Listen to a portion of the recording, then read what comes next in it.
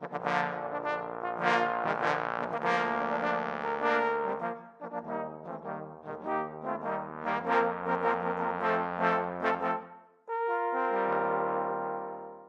video has been made possible by today's sponsor, Skillshare. Skillshare is a fantastic online learning platform where you can browse through the literally thousands of various classes on a huge range of topics. It's not just a website, but a community where you can interact with others to find encouragement and support for your learning. For instance, if you are interested in understanding more about musical theory, you could dive into one of the hundreds of classes that they have on this topic. These classes range from beginner levels all the way through to advanced, so regardless of your skill levels or experience, there will definitely be something for you. Even better, there are no ads, and as they are always adding new classes, you will never run out of topics to discover. To help you with your journey, the first 1,000 people who sign up with the link below will get one month of free Skillshare Premium membership. So take a look and see what classes take your interest. Hello and welcome. This is a B flat trumpet. It is a very standard B flat trumpet and it has the standard, the standard arrangement of three valves as the very observant among you will have noticed. Uh, however, I play euphonium as my main instrument and my euphonium has four valves. And uh, when I come to play trumpet, I'm almost, I'm always heinously limited by the fact that, well, I'm not a trumpet player, but uh, by, by the fact that it only has three valves. I want a trumpet with four valves. And uh, although in the past I've you know, soldered two horrific trumpets together to make a sort of six valve conglomeration. That was never designed to be a functioning instrument, whereas I want a functioning four valve trumpet. Now, there are many things in my life that I do not have, such as, you know, friends and a, a, a, social circle. But there is one thing in my life that I do have, and that is spare musical instruments. And so, what I want to do today is take this trumpet, which is a working three valve trumpet, and this trumpet, which is a non working sort of three valve trumpet where the second valve has got a crushed valve casing and so the second valve doesn't work. And I want to mold these together in such a way that I'm left with a working four valve trumpet.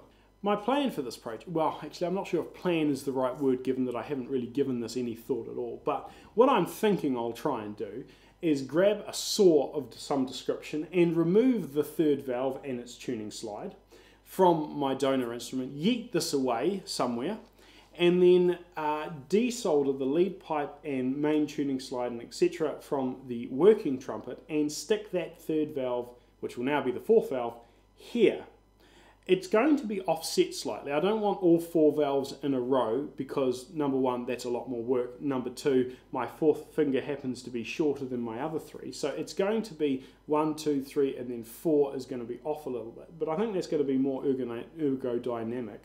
Uh, and so the fourth valve will be here.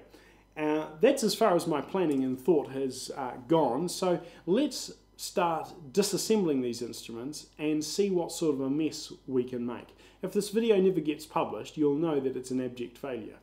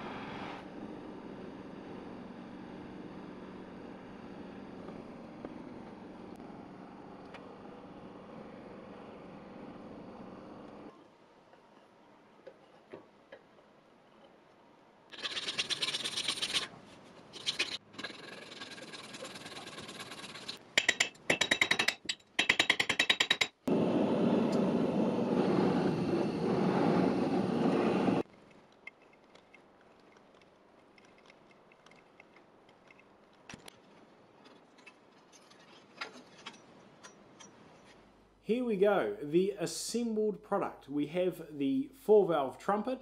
Um, I say assembled because it's not exactly finished. There are a lot of things that I can tidy up on it. Uh, but it is, you know, functioning. It functions, it looks sort of like an erupted carbuncle, but, you know, we won't mind about that too much. The fourth valve is offset to the side and it's fairly comfortable. It's also just because of the way that the the tubing around the, the bottom of the uh, of the valve lines up, it, it's it's a little bit higher than the other three, as you can see there. Um, I don't mind that too much. I, I, think it's something that you would you would get used to. The valves all work, which is a, a, obviously an advantage, and one of the goals that I had set out for. I wanted to ensure that the instrument still functioned as an instrument.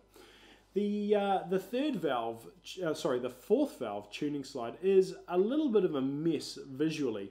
We have the normal third valve tuning slide that goes from about there to there, and then we have the first valve tuning slide tapped on top of that and then we've got the, the adjustable bit out here. So it is possible to adjust this. Um, there's not a lot of adjustment on it, but it's, it's possible to adjust it. What's actually quite miraculous is that this tubing is still parallel enough for the, for the tuning slide to go in and out despite the fact that there's only one brace sort of about there. But let's play some notes and see what, uh, what sort of sound we get.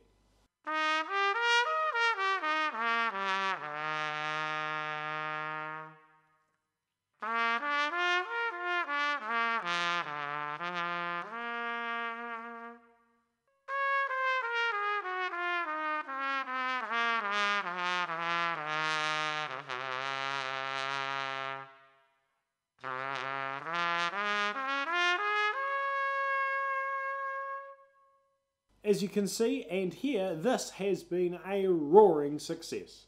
Thank you for watching.